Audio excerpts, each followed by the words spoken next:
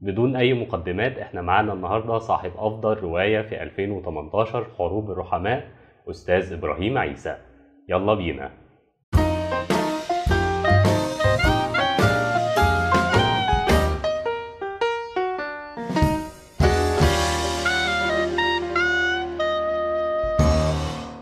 أهلا بك يا أستاذ إبراهيم. أهلا يا عمر. سعداء جدا.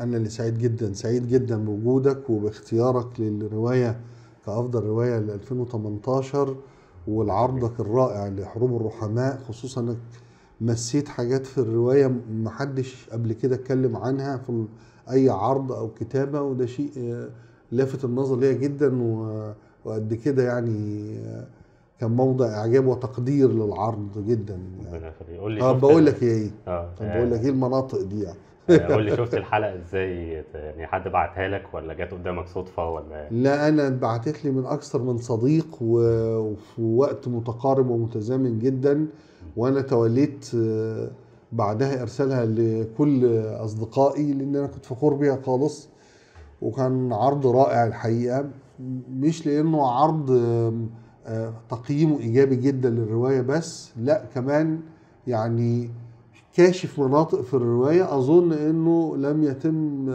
طرق بابها ببساطة من آخرين. فده كان شيء موضع تقدير مني جدا. فضلا على إنه آه، أنت عارف آه، مساحات النقد في مصر محدودة ومتواضعة وقائمة طول الوقت على العرض أكتر منه على النقد و- وجزء كبير من كمان الانطباعات عن الروايات انطباعات عاطفية ونابعه من موقفك من الكاتب بتحبه فالله عظيم جميل فظيع الرواية أو بتكرهه فحتى ما تقراهاش تشتمها وتشتم اللي جابوه واللي جابها. فيعني مسألة حتى انطباعات القراء في التعليقات كلها انطباعات يعني انطباعات يعني طالعة من باب المشاعر مش الرأي والتقييم والنقد. في حاجات لامعة ولطيفة وحتى السلبي منها وفيها حاجات يعني ما بتضيفلكش غير يعني قدر من الشتائم يضاف إلى طابور الشتائم فده عادي يعني. تعودت عليه أنا شخصيا يعني.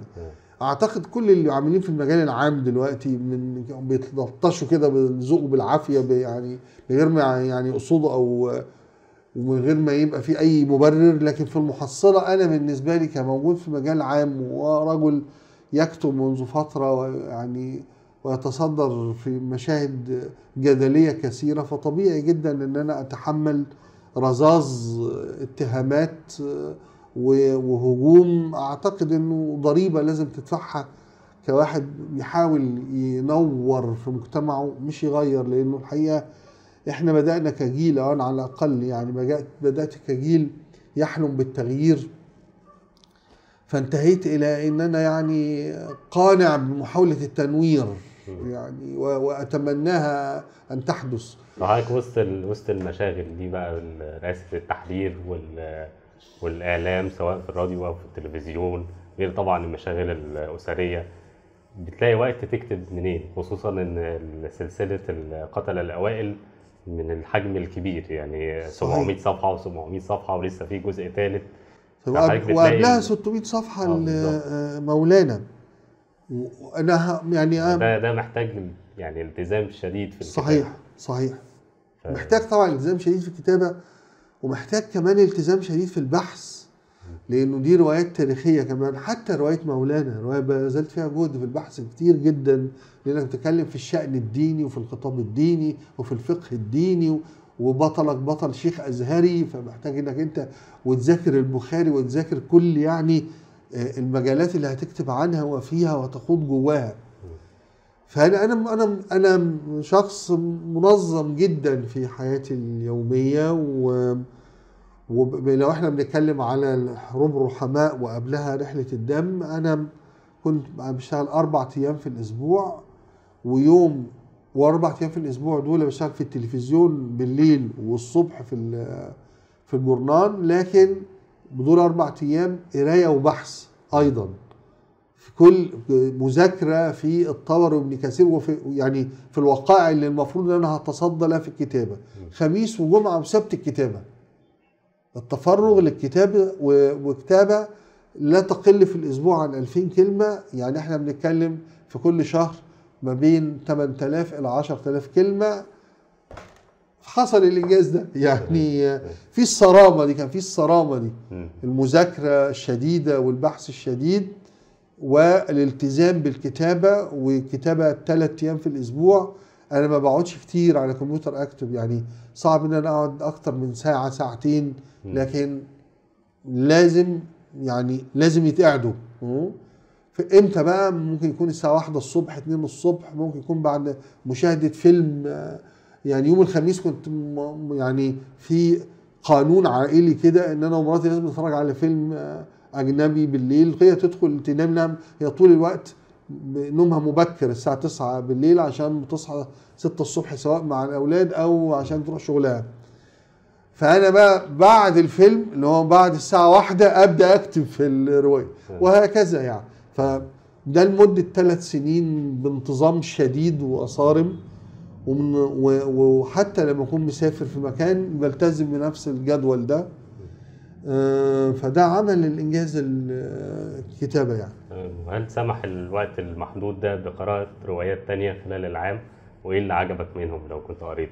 طول الوقت أنا قارئ آه، ملتزم زي ما أنا كاتب ملتزم كده قارئ ملتزم التزام جنوني مش التزام طبيعي يعني الأيام دي يمكن لأنه مفيش يعني مشاغل كثيرة أنا ممكن يخلص كتاب في اليوم قراية.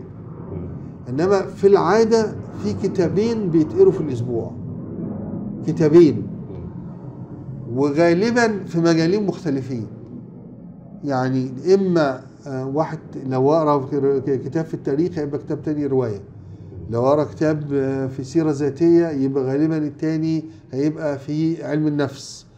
آه، وهيبقى في السياسة. يعني طول الوقت أنا قاعد في الأسبوع أقرأ كتابين بخلص كتابين. وطول الوقت أنا عندي مكتبة في الحمام يعني يعني فأتصور إنه شغفي بالقراية أحيانا يتجاوز كثيرا جدا شغفي بالكتابة أصلا.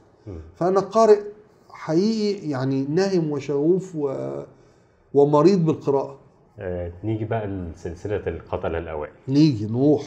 آه، هل دي كان حلم يراود حضرتك من البداية؟ بس حبيت إن أنت تأجله لغاية ما تثقل موهبة الكتابة عندك وتقرأ أكتر ولا نتيجة الأحداث الأخيرة والصراعات العربية والأزمة اللي في المنطقة بقى لها كام سنة؟ شوف أنا من أعتقد من سنة 2006 كنت بقدم برامج آه، تاريخ ديني في قناة دريم.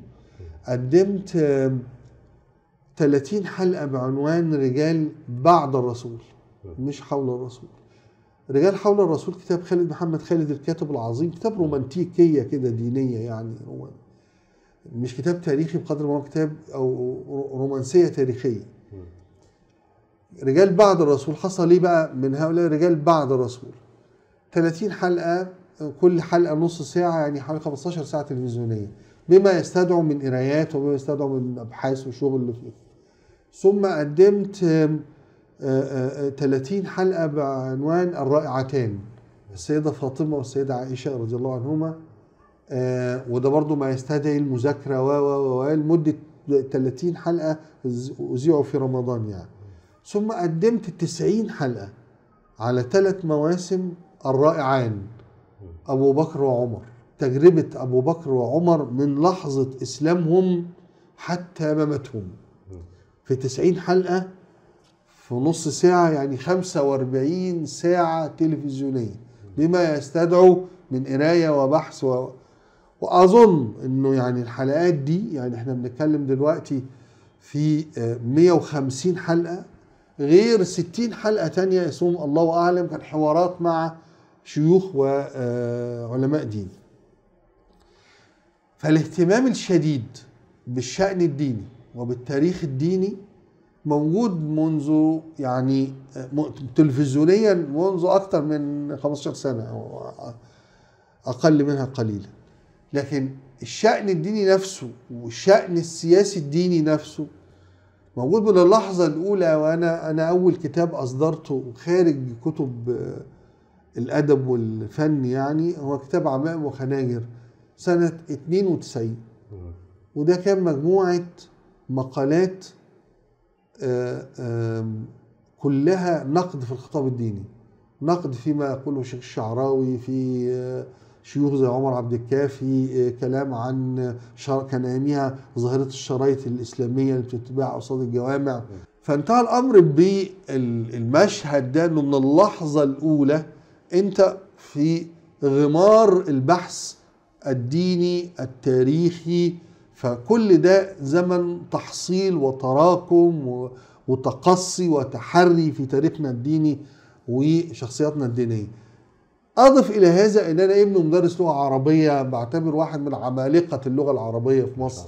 ابويا الله يرحمه الأستاذ سيد عيسى وكان أستاذ لغة عربية شهير جدا في بلدنا وفي المنوفية وهو عالم أزهري ولما حتى طلع المعاش بقى إمام المسجد ويعني ويؤم المصلين حافظ القرآن بيختم القرآن تقريبا كل أسبوع مرتين.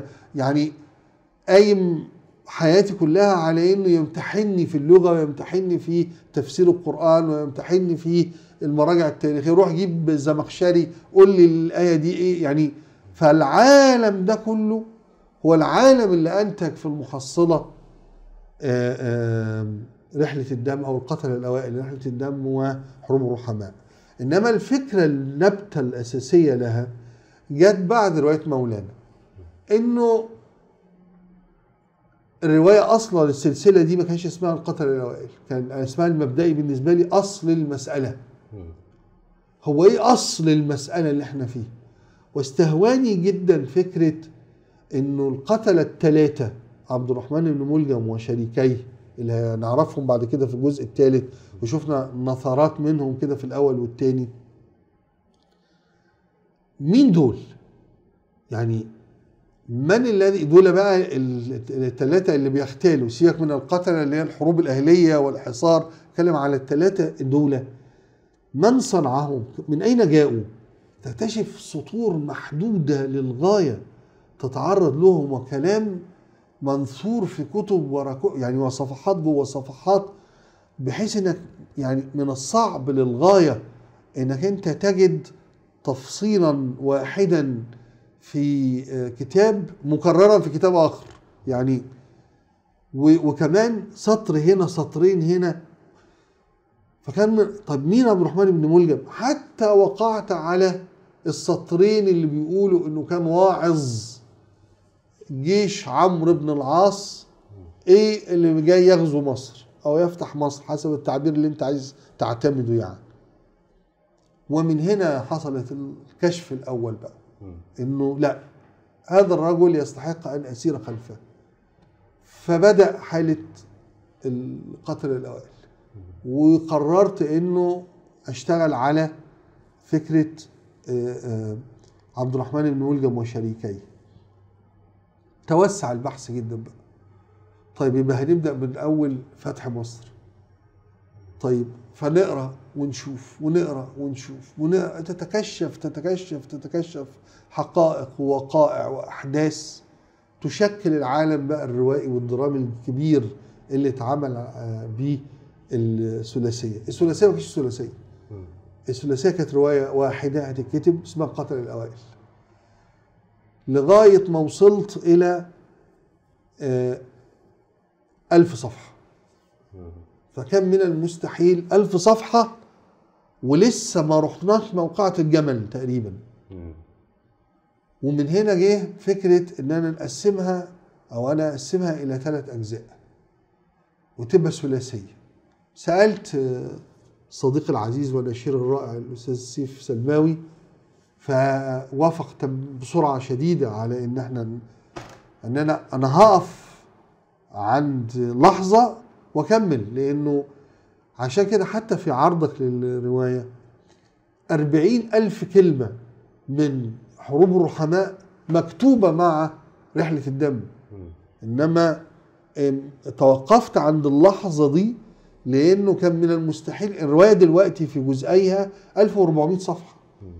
فمع الجزء الثالث فكان من المستحيل إن يبقى رواية واحدة مم. فعملنا ثلاثية بدأنا ال- رحلة الدم ثم أكملت ما بعد الأربعين ألف كلمة بقى آه، حتى انتهت إلى آه، حروب الرحماء ال 700 التانيين دول تمام. 700 صفحة يعني وأنت فاكر أنا ما قريتش الكتاب ده يعني أنا قريت كل ما يمكن أن تعتقد إنه يرد على أي حاجة أنا كاتبها. قاريها قاريها يا سيدي قاريها بس أنا بقول لك إنه صحابي بناء على البحث والمذاكرة اللي حصلت. دي حرب المئة يوم اللي غيرت تاريخ البشرية الإسلامية. أقسم بالله والله العظيم يا عمرو أنا الكيبورد ده اتملى دموع وأنا بكتب.